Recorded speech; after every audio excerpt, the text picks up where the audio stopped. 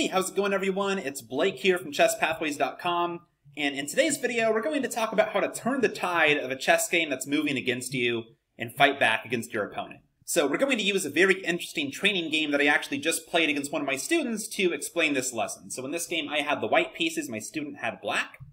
Uh, e4, e5, you go ahead and get an Italian game here, and I opt for the Evans Gambit with b4. If you're curious about this opening, I have a video on it. Just search for Evans Gambit Chess Pathways on YouTube. It's there. Um, after this video, of course, you don't mess up the algorithm.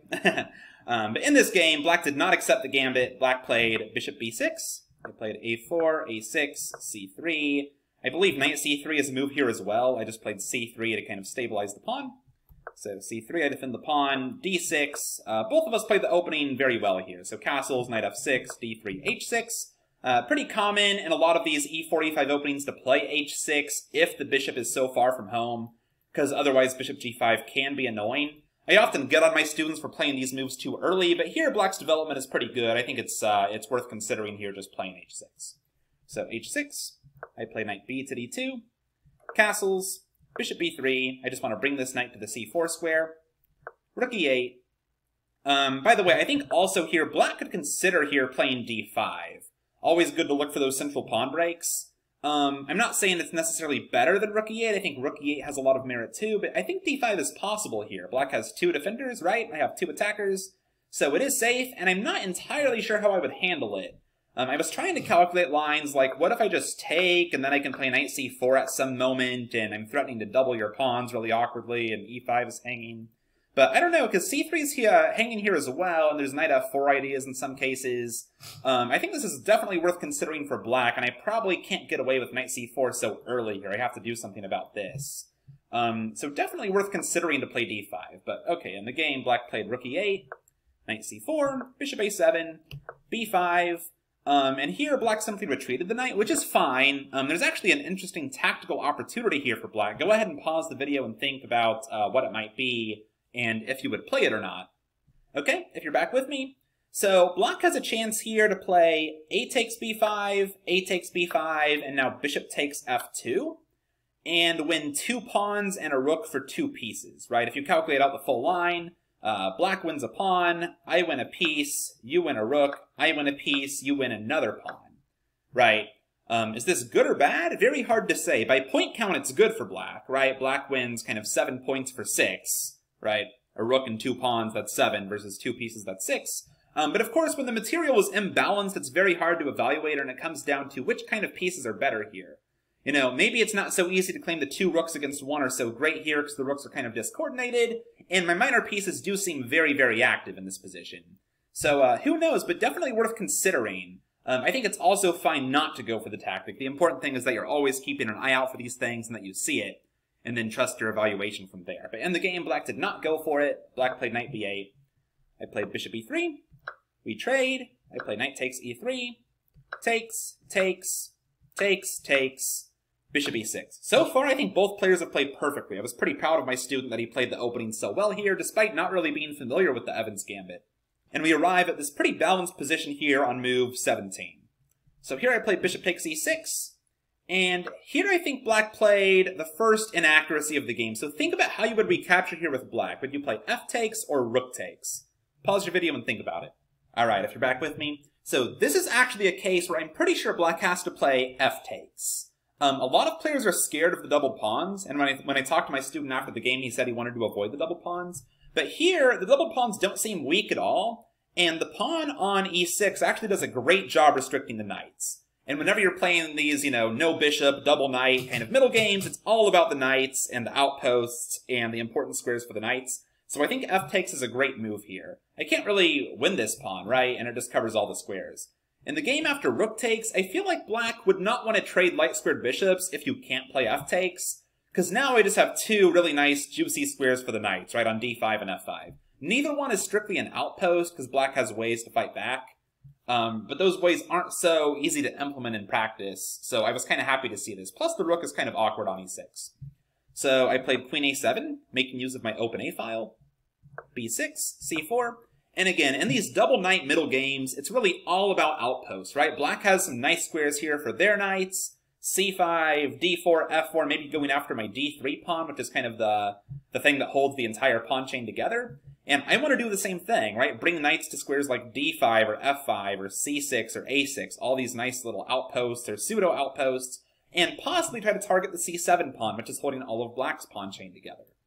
So pretty interesting fight ahead. Black played knight b to d7, great move, trying to activate that knight, hopping to some of these outposts. Rook a1, rook e8, and now think about what you would play here with white. Again, go ahead and pause the video and come up with a plan. There might be more than one right answer. All right, if you're back with me, again, I'm not saying there's just one correct plan here. There's no immediate tactic, so multiple possibilities are on the table. Um, if you have a different idea than me, I'm not saying it's uh, you know necessarily wrong. You can go ahead and test it against a computer, play some training games. But I like to think about what's my worst place piece when I have trouble coming up with a plan, right? Which piece should be improved? And here I think it's definitely the f3 knight, right? This knight is kind of useless on f3. There's nothing it's doing here, right? So I come up with a plan to improve this knight and try to use it to get to one of these outposts. So I played knight e1. Uh, my idea here was knight c2, knight b4, knight c6, or d5, or a6, kind of depending. Um, plus, it's nice that on c2 it also watches over d4, and it's also out of the way of rook a3, which I might need to defend my d pawn, again, kind of the most important pawn of this pawn chain, in case black plays knight c5. So that was my plan. Black did play knight c5, I play rook a3 to free up this knight from defensive duty, uh, and now knight h5. So black's trying to get something going. I think they certainly can't be faulted for this, but I was a little bit happy to see this knight leave the f6 square, because now knight d5 is on the table without having to offer a trade. So I first just restrict this knight, g3, right, don't allow it into f4, g6, knight c2, again, implementing my idea here, knight e6, watching over c7 possibly, maybe even hopping to d4 at some moment. Um, now I choose to play knight d5 first, going after uh, c7. And now we'll flip this around, do it from black's perspective. What do you think's going on here with black, and what would you play? Go ahead and pause the video, try to think for at least 30 to 60 seconds here, and come up with a plan for black, and come up with what move you would play here with black. Alright, if you're back with me, so up to this point, it had been a very hard-fought game, both sides trying to implement their ideas, and Black is far from out of this fight, right? Black is definitely in this game. But it has kind of become apparent, at least to me, that if this becomes a purely positional struggle about outposts and weak pawns, White's gonna win that battle, right? Think about it. I can play moves like knight b4, knight a6 or something. c7 is very weak. It's very hard to move it because uh, b6 is weak.